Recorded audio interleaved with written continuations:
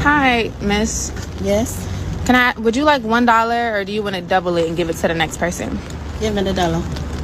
Do you no, I'm saying do you want the dollar do you want to double it and give it to the next person so the next person gets two dollars? Give me the dollar.